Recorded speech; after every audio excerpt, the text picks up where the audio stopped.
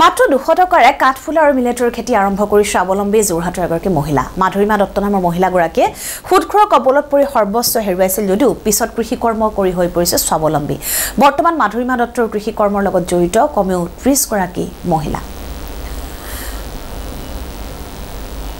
অধিক জনাব আমাৰ যোৰহাটৰ ছিনিয়ৰ ব্যুৰ চিফ প্ৰদীপ বৰাই। ৰাজ্যত শেহতীয়াকৈ বহু যুৱক যুৱতী আৰু মহিলাই আত্মসংস্থাপনৰ বাবে বিভিন্ন ধৰণৰ তেওঁলোকে পদক্ষেপ গ্ৰহণ কৰিছে। চাকৰিৰ পাছত নদৌৰি তেওঁলোকে নিজে নিজে আত্মসংস্থাপনৰ কাৰণে বিভিন্ন ধৰণৰ কৃষি কাৰ্য বিভিন্ন ধৰণৰ মীন পালন বা বিভিন্ন ধৰণৰ কাৰ্য গ্ৰহণ কৰিছে। মই আছোঁ যোৰহাটৰ উপকণ্ঠৰ দুই নং চেঙেলী গাঁৱত আৰু দুই নং চেঙেলী গাঁৱৰ মাধুৰীমা দত্ত নামৰ এগৰাকী মহিলাই। তেওঁ যি মহিলাগৰাকীয়ে সুদখোৰৰ আতিশয্যত তেওঁ মাটি বিক্ৰী কৰি তেৰ লাখ টকা তেওঁলোকে ধাৰ মাৰিছিল তাৰ পাছতো সুদখোৰৰ আতিশয্যত তেওঁ এদিন জীৱনৰ চূড়ান্ত সিদ্ধান্ত গ্ৰহণ কৰিবলৈ বিচাৰিছিল। কিন্তু তেওঁ কৈছিলে যে ভাবিছিলে যে মৃত্যু কেতিয়াও সমস্যাৰ সমাধান নহয়। সেয়ে তাৰপিছত তেওঁ আৰম্ভ কৰিছিলে এই জীৱন যুঁজ।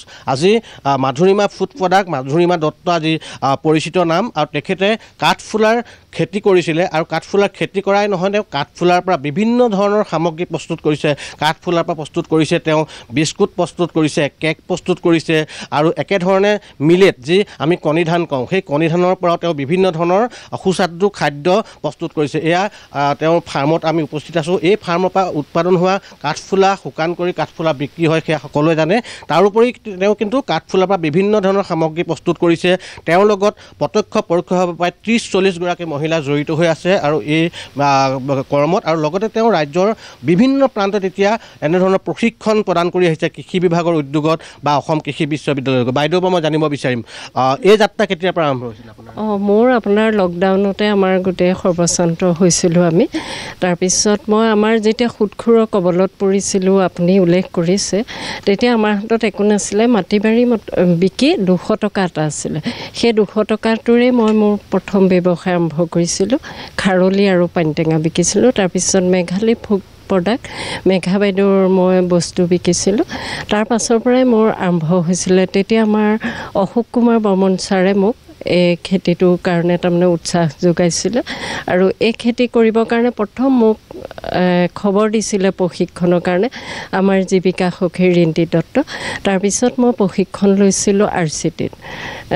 আৰ চি টিতেই মই প্ৰশিক্ষণ লৈছিলোঁ দহদিনীয়া দুহেজাৰ বাইছ চনৰ দহ ফেব্ৰুৱাৰীৰ পৰা বিছ ফেব্ৰুৱাৰীলৈ। তাৰপিছত মই বাইছ ফেব্ৰুৱাৰীৰ পৰা মোৰ ত্ৰিছটা বেগেৰে কাঠফুলাৰ বেগ আৰম্ভ কৰিছোঁ। এতিয়া আপোনাৰ এইখন আৰু এঠাইত আৰু এখন আছে বুলি কৈছে। কিমান মান এতিয়া আপোনাৰ বেগ আছে মোৰ দুইখনৰ ভিতৰত পাঁচ হাজাৰমান আছে। ইয়াত বেছি নাই ইখনত বেছি আছে। কাঠফুলা এনেও এটা সুস্বাদু আহাৰ।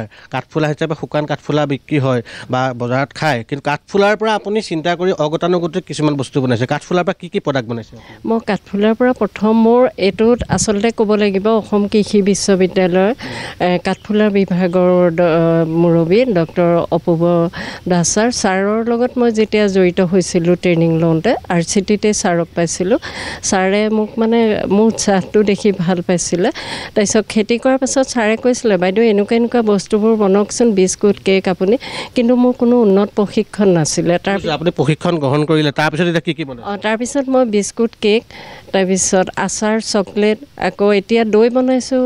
কাঠফু অঁ কাঠফুলাৰ পৰা দৈ তাৰপিছত আপোনাৰ মুৰাব্বা মিঠাই লালমোহন তেনেকৈ সেইখিনি জাম জেলি গোটেইখিনি আৰম্ভ কৰিছোঁ। কাঠফুলাৰ পৰা? অঁ কাঠফুলাৰ পৰা। কাঠফুলাৰ কেক বিস্কুট জাম জেলি লগতে দৈও বনাইছে কাঠফুলাৰ পৰা বনাইছে।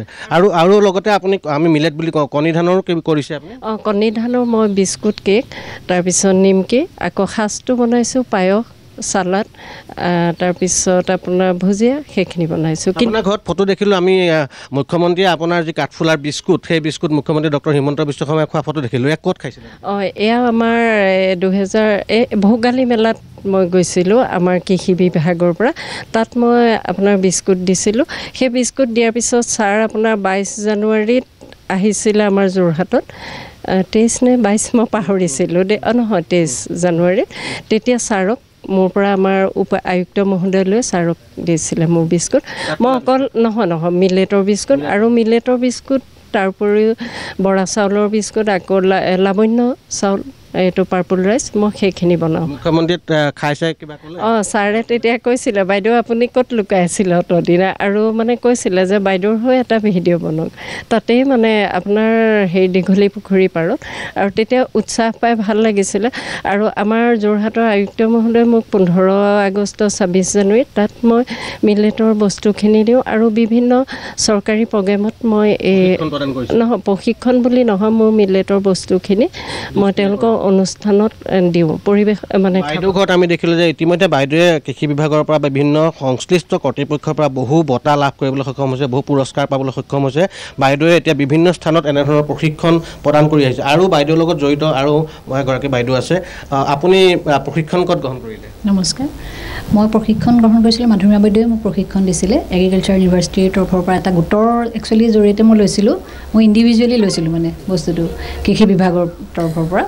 হয়। প্ৰদীপ বৰা আপোনাক ধন্যবাদ জনাইছোঁ।